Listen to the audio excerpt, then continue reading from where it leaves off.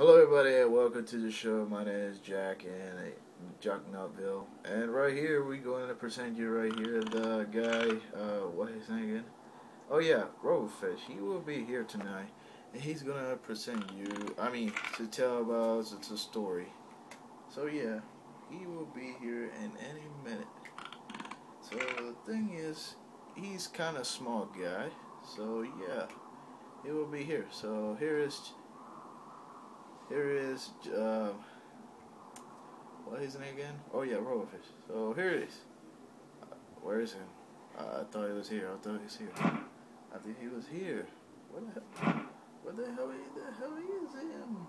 Jesus! I thought he was right here. Execution. Cut.